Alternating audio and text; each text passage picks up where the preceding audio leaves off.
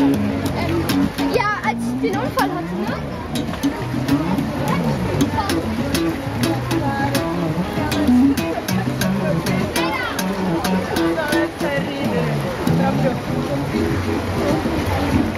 Thank you.